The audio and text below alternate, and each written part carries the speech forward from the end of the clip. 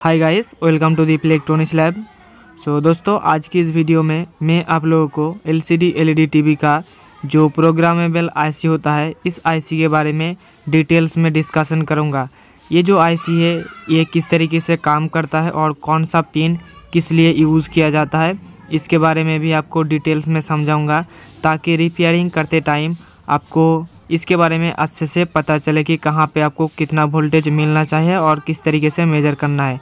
अगर आप जानना चाहते हो इन सारे इन्फॉर्मेशन के बारे में तो इस वीडियो को आखिर तक देखते रहिए। वीडियो पसंद आए तो लाइक कर दीजिएगा उसके बाद चैनल को भी सब्सक्राइब कर लीजिएगा अगर आपने अभी तक नहीं किया है तो। सबसे पहले आप ये जान लीजिए कि हमारे टीवी के अंदर जो मदरबोर्ड है उसके अंदर किस नंबर का आईसी लगा रहता है। मैं नॉर्मल टीवी की बात कर रहा हूँ कोई एंड्रॉयड टीवी की नहीं बात कर रहा हूँ मैं। तो सबसे पहला जो नंबर होता है, वो होता है W two five Q one six दूसरा होता है W two five Q three two तीसरा होता है W two five Q six four और चौथा होता है W two five Q one two eight दोस्तों, ये जो चार आईसी का नंबर मैं आप लोगों को बताया, ये चारों के चारों नॉर्मल एलसीडी एलईडी टीवी के अंदर मिलता है और ये सारे के सारे प्रोग्रामेबल आईसी है। तो आज की इस वीडियो में मैं आप लोगों को सिर्फ़ और सिर्फ़ नॉर्मल टीवी के इन चार आईसी के बारे में बताऊँगा कि इसका कनेक्शन किस तरीके से किया रहता है और इसको किस तरीके से मेज़रमेंट किया जाता है एलसीडी एलईडी टीवी रिपेयरिंग करते टाइम और नेक्स्ट वीडियो में मैं आप लोगों को एंड्रॉयड टीवी का प्रोग्रामेबल जो ई ई एम सी आई सी है, उसके बारे में आपको बताऊँगा कि किस तरीके से प्रोग्राम करना है। तो चलिए सबसे पहले ये जो आप नंबर देख रहे होंगे W two five Q three two number का ये आईसी है। इस आईसी का जो फ़र्स्ट नंबर का जो पिन है, ये हमारा सी एस के लिए हो गया। क्योंकि सी एस एक शॉर्ट कोड नंबर है तो सी एस का मतलब हो कि चिप सिलेक्ट इनपुट मतलब आपको चिप को सिलेक्ट करने के लिए, यानी कि आईसी को सिलेक्ट करने के लिए ये हमारा पिन इस्तेमाल किया जाता है। और उसके बाद हमारा जो दूसरे नंबर का पिन है, ये हो गया हमारा डेटा आउटपुट के लिए। उसके बाद तीसरे नंबर का पिन हो गया हमारा जो राइट प्रोटेक्शन इनपुट के लिए मतलब इनपुट पे जो भी सिग्नल होगा, उसको ठीक सही तरीके से प्रोटेक्ट करने के लिए हमारा तीसरे, तीन नंबर का जो पिन है, वो इस्तेमाल किया जाता है। और उसके बाद जो चार नंबर का पिन है, ये हमारा ग्राउंड के लिए। तो सबसे पहली बात है कि अगर जब भी आपको कोई रिपेयरिंग करना है टीवी का तो उसका प्रोग्रामेबल आईसी सही से काम करना है कि नहीं, इसके लिए आपको जो मेन तीन लेग्स का ध्यान में रखना होगा, ये भी मैं आपको बताऊँगा। सबसे पहले मैं आपको बता देता हूँ कि इन सारे पिन्स के बारे में। तो चार नंबर जो पिन है हमारा, ये हो गया हमारा ग्राउंड के लिए। उसके बाद जो पाँच नंबर का पिन है, ये हो गया हमारा डेटा इनपुट के लिए। और उसके बाद हमारा सिक्स नंबर का पिन है, वो हो गया हमारा क्लॉक सिग्नल के लिए।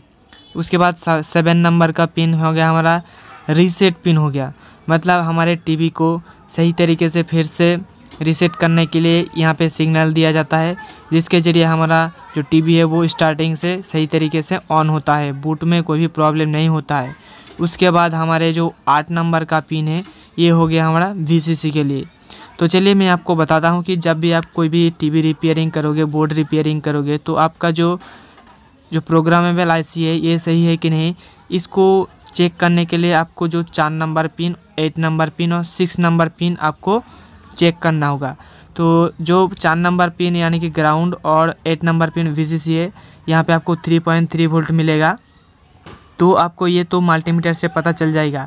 लेकिन जो सिक्स नंबर पिन से हमें जो सिग्नल मिलेंगे, इस सिग्नल को मेज़रमेंट करने के लिए आपको डीएसओ की ज़रूरत होगी। क्योंकि जो सिग्नल होता है क्लॉक सिग्नल इसको मेज़र करने के लिए जो मल्टीमीटर आता है, वो बहुत ही महँगा आता है। अगर आपने वो छोटा सा माइक्रो सा ले लिया, आप ले लिया है आपने, तब भी आप मेज़र कर सकते हो। लेकिन अगर आपको क्लॉक सिग्नल को अच्छे तरीके से समझना है, अच्छे तरीके से मेज़रमेंट करना है तो आपको डीएसओ की ज़रूरत होगी। आप मल्टीमीटर से नहीं चेक कर पाओगे सही तरीके से। दोस्तों, ये था कुछ प्रोग्रामेबल आईसी के बारे में जानकारी। तो ये जो प्रोग्रामेबल आईसी है, ये बहुत ही महत्वपूर्ण है एलसीडी एलईडी टीवी के अंदर। और क्यों है, ये भी मैं आपको बता देता हूँ कि अगर आप मान लीजिए किसी टीवी के अंदर नया पैनल इंस्टॉल कर रहे हो। लेकिन पहले वाला जो पैनल इंस्टॉल किया हुआ था, उसका जो है मतलब रेजुलेशन है कुछ अलग था, लेकिन आपने जो नया पैनल इंस्टॉल कर रहे हो, उसका कुछ रेजुलेशन अलग है। तो उस रेजुलेशन को सेट करने के लिए हमें इस प्रोग्रामेबल आईसी को फ्लैश करना होता है, जिसके ज़रिए हमारा जो पैनल के अंदर जो पिक्चर है, वो सही सलामत हमें देखने को मिलता है।